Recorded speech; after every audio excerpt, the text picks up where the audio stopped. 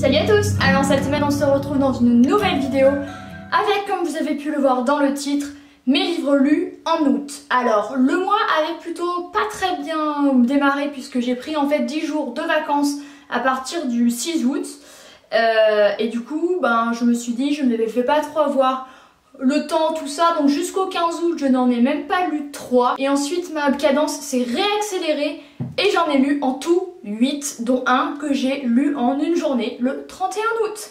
Voilà, donc on va commencer tout de suite. Et avant ça, je vais dire que le fil rouge de ce mois-ci, ce serait euh, l'épanouissement et la découverte de soi et l'évolution des personnages. En fait, tout simplement que ce soit des histoires fictives ou réelles parce qu'il y a deux autobiographies et une biographie dans cette vidéo, vous allez voir que le fil rouge, bah, en fait, c'est l'évolution des personnages. C'est quelque chose que j'aime énormément lire, voir un, personnage qui n'est pas comme au début de l'histoire. Je trouve ça hyper intéressant.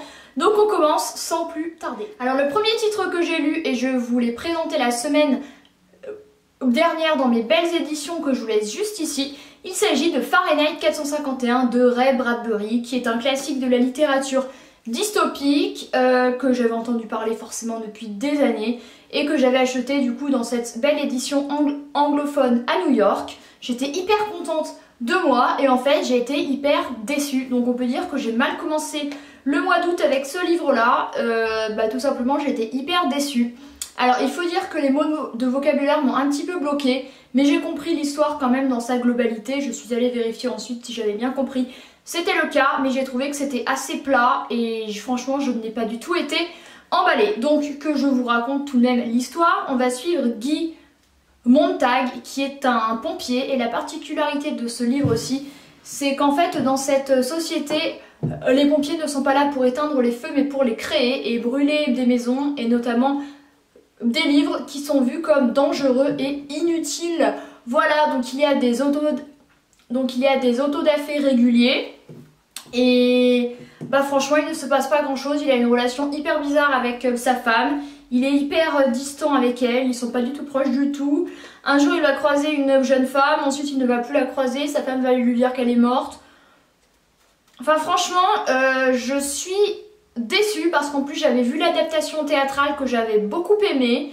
Euh, je trouvais que l'histoire partait d'une très bonne idée en fait, le fait que les livres soient proscrits, je trouve que ça bah, c'est hyper intéressant quoi comme euh, dystopie. Et en fait bah, je n'ai pas accroché du tout, en plus je l'ai payé genre 16 dollars pour même pas 220 pages. Donc j'ai été hyper hyper dégoûtée.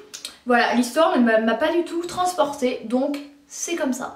Le second livre que j'ai lu et pour lequel j'ai vraiment eu un coup de cœur, il s'agit de Faye de Larry Brown aux belles éditions Gallmeister. J'adore les éditions Gallmeister.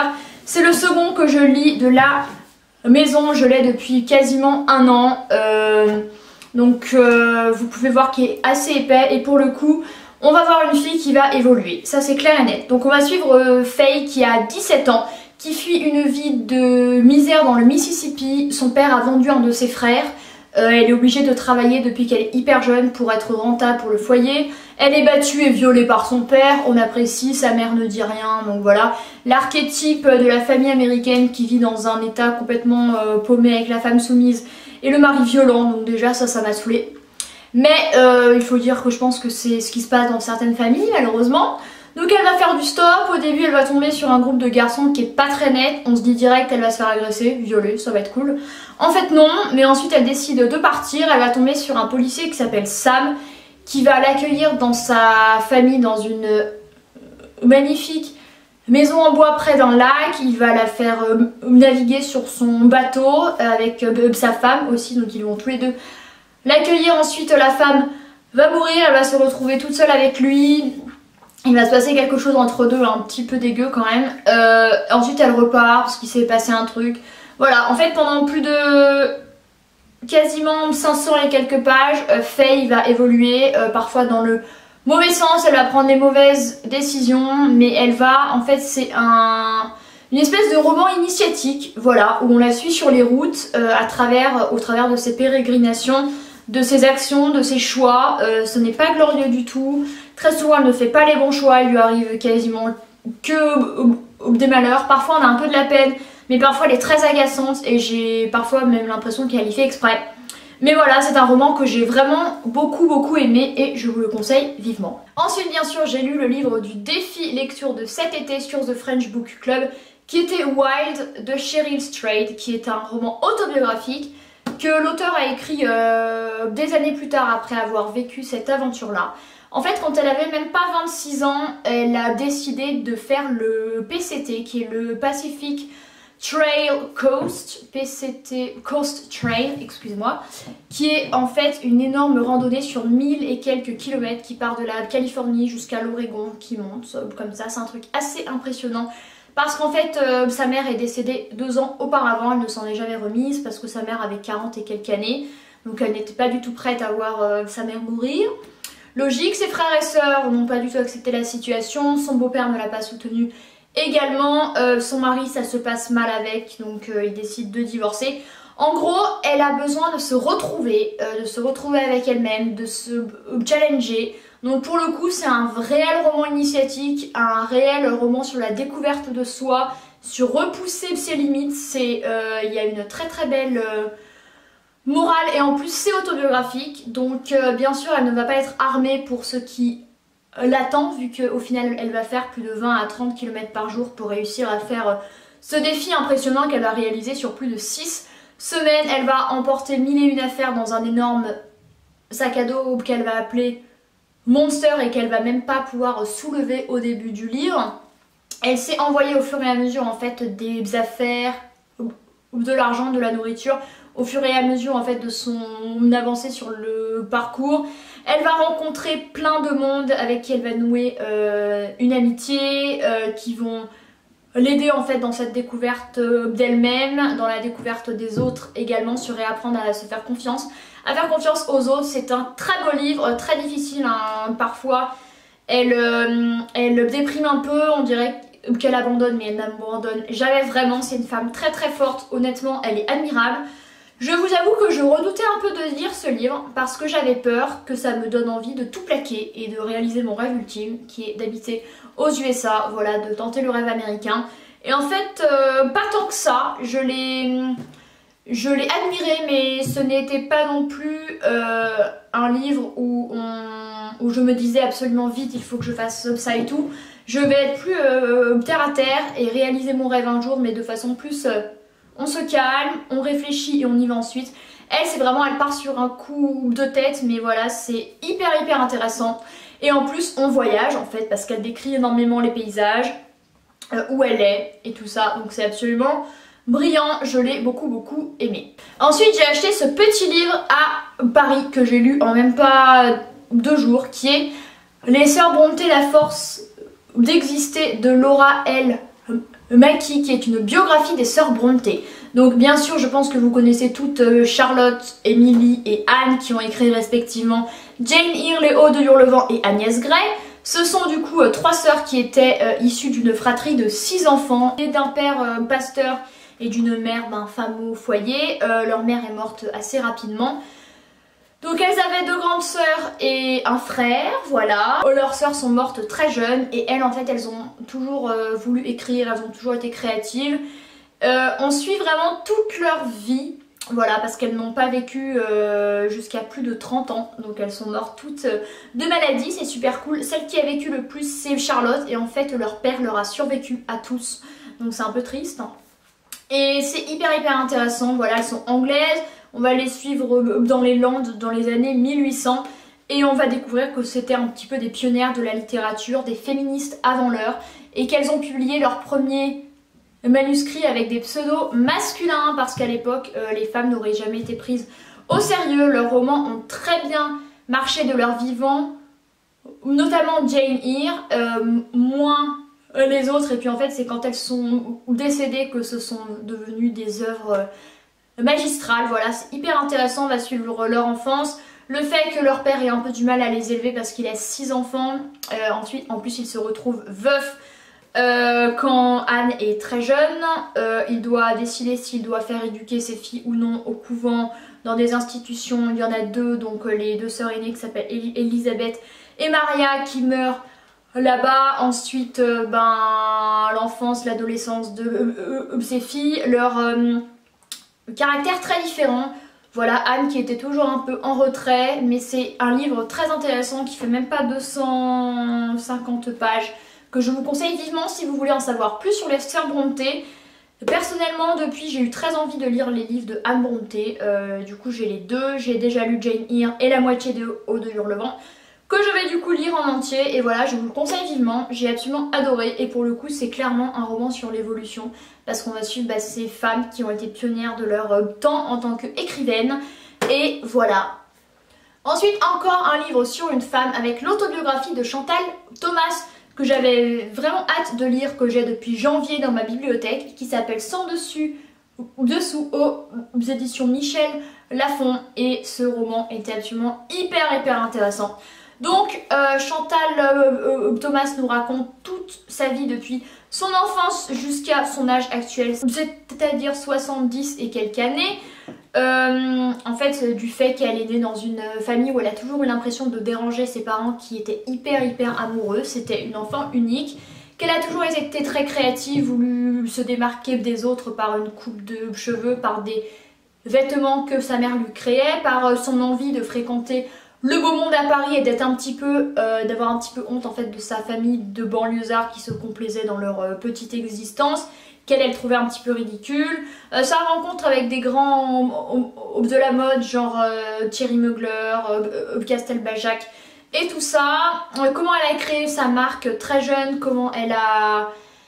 Elle s'est mariée avec Bruce, ou Thomas avec qui elle a créé Terre et Bantine qui fut en fait leur première marque de prêt d'apporter. Ils l'ont eu pendant 20 et quelques années, comment elles se sont mariées, ce qu'il s'est passé pendant ces années-là, donc du travail euh, incessant, comment leur marque a grandi, comment elle, elle s'est mise à faire uniquement de la lingerie, les investisseurs qui ont investi dans sa boîte, la boîte, sa propre boîte, de laquelle elle a été évincée par des Italiens. Voilà, on apprend absolument tout, euh, sa maternité, son divorce, euh, la rencontre avec euh, son mari actuel. C'est hyper hyper intéressant, c'est l'autobiographie et l'histoire d'une femme moderne, d'une femme qui n'a jamais voulu respecter les dictates et franchement je la comprends tellement. Sortir des, des normes, ne pas se contenter de ce qu'on a et viser plus haut parce que c'est pas parce qu'elle était une femme qu'elle devait euh, ben, ne rien faire en fait.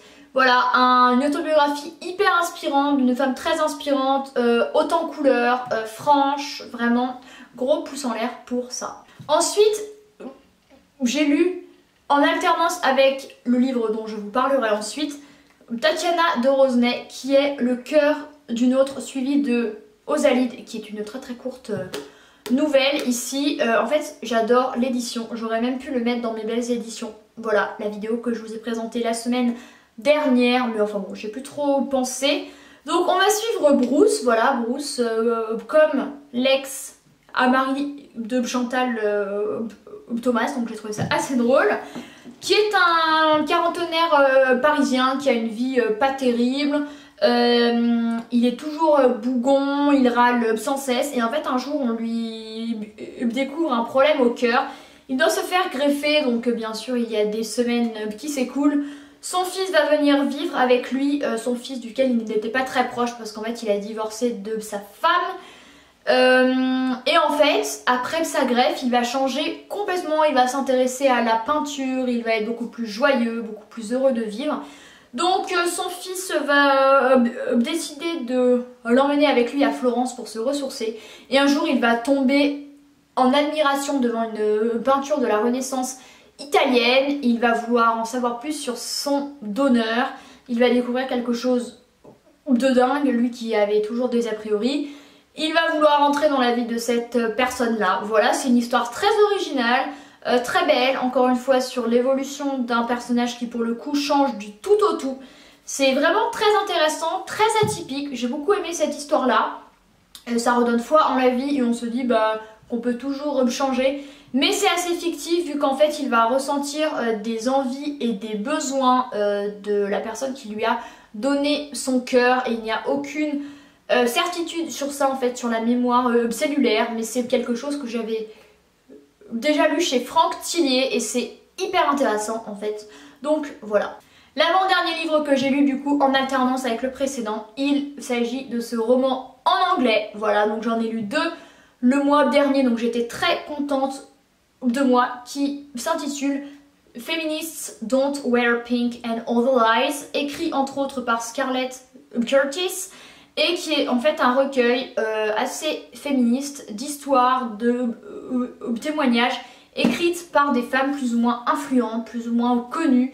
Donc on a par exemple Kat Dennings qui est une actrice, on a euh, Jamila Jamil qui joue dans The Good Place, on a Zoé Shug aka Zoella, on a Saoirse Ronan, la fameuse actrice, Evan Lynch qui joue Luna All of Good, on a également bien sûr Emma Watson, euh, Sky Jackson qui est une actrice également, Tanya Burr qui est une youtubeuse, on a des euh, activistes, des féministes et c'est hyper intéressant. En aucun cas, je précise et je l'ai précisé dans mon euh, article, il ne s'agit d'un recueil qui enfonce les mecs, pas du tout. C'est simplement des témoignages plus ou moins personnels, écrits de façon totalement différente, de femmes qui se posent la euh, question sur qu'est-ce qu'être féministe, est-ce que je le suis et qui racontent des anecdotes et des histoires privées concernant un pan de leur vie euh, dans lequel elles se sont dit euh, que peut-être leur féminité avait été touchée.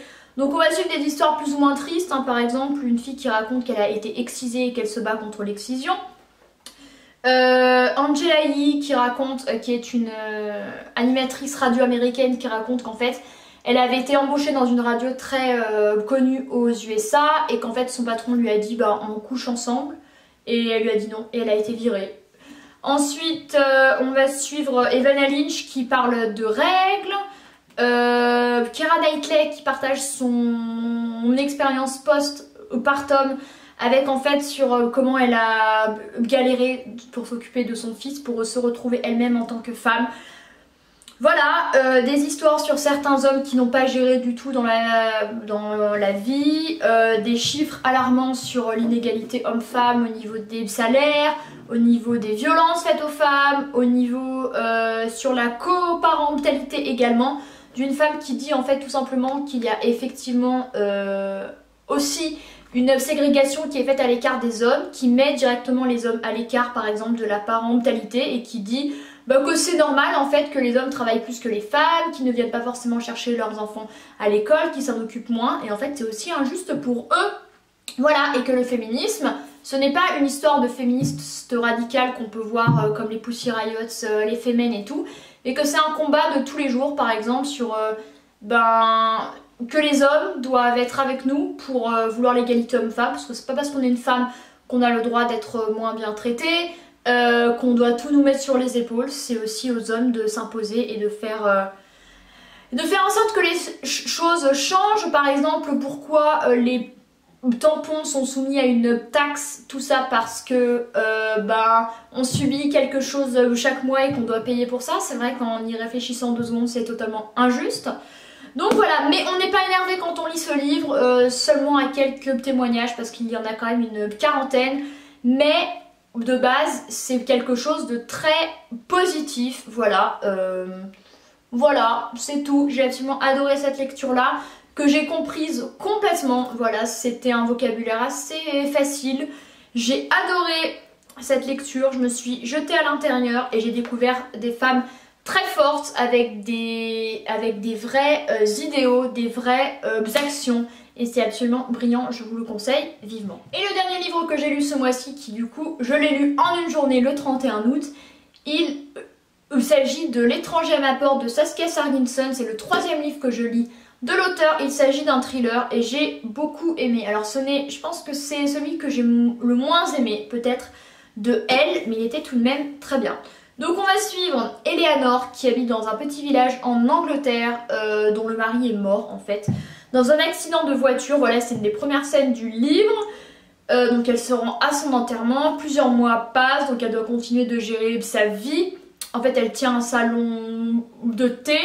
Euh, plusieurs choses vont lui arriver à son salon de thé juste après qu'elle ait euh, chez elle, enfin dans son garage, un étranger roumain qui s'appelle Luca. Euh, le village est peuplé de gens un petit peu racistes, voilà, c'est le cas de le dire, et tout le monde dit que euh, qu'il ne faut pas l'accueillir, qu'il va être un violeur, un machin et tout. Parallèlement, elle va hum, se mettre en couple avec un homme qui s'appelle David, qui a perdu lui aussi sa femme qui s'appelait Henrietta. Euh, mais cet homme-là n'a rien à voir avec elle, en fait, il vit dans une grande maison, il est riche alors qu'elle, elle, voilà, elle vit dans une petite maison et tout ça, il va se passer des choses bizarres, euh, on va énormément parler des immigrés, de, bah, du fait qu'ils sont esclaves et tout ça, je ne vais pas en dire plus, mais une histoire, oui, voilà, un peu thriller, euh, sur des choses qui se passent, mais on ne sait pas qui croire, donc c'est hyper... ça prend au trip quoi, on a vraiment envie de savoir le fin mot de l'histoire, je l'ai lu vite parce qu'en plus il fait que 350 et quelques pages. Il était vraiment cool, ce n'est pas mon thriller préféré, mais j'ai tout de même beaucoup aimé. Donc voilà, c'en est tout pour mes livres lus en août. La vidéo est suffisamment longue comme ça. Vous voyez vraiment le fil rouge, c'est vraiment bah, l'évolution des personnages. Dans quasiment tous les livres, on a une évolution plus ou moins euh, importante et intéressante des personnages. Je trouve vraiment que c'est hyper intéressant dans un livre, que ce soit un livre autobiographique, donc tiré d'une histoire vraie ou complètement d'une histoire vraie, ou un livre fictif qui est vraiment une évolution dans les personnages. C'est le plus intéressant, voilà, qu'un personnage euh, change et ne soit pas le même au début qu'il n'est à la fin. Voilà, n'hésitez pas à mettre un pouce en l'air à cette vidéo si elle vous a plu à vous abonner et à me dire en commentaire euh, bah, ce que vous avez lu récemment. N'hésitez surtout pas à vous abonner, ça me fait hyper hyper plaisir. N'hésitez pas également à nous suivre sur le club lecture Facebook The French Book Club. Le lien sera dans la barre d'infos. On est toujours très content de vous voir plus nombreux et nombreuses sur le groupe. C'est vraiment super cool. Merci beaucoup d'avoir regardé cette vidéo et je vous dis à la semaine prochaine. Bye